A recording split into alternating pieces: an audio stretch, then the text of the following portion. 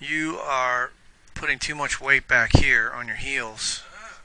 So when you take a backswing, what happens is all your weight moves this direction in an attempt to balance you out. So you have too much knee flex, you're tucked under a little bit, and then you move forward.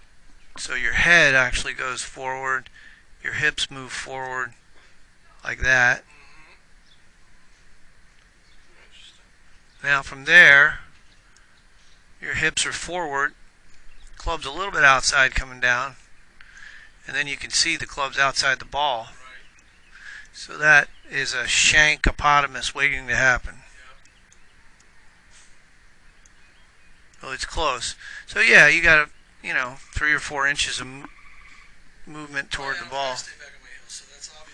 So when you take a backswing, what I want you to do is feel like you're going from the center of your foot with your weight back into your right heel some. Okay. Now we'll practice that a little bit.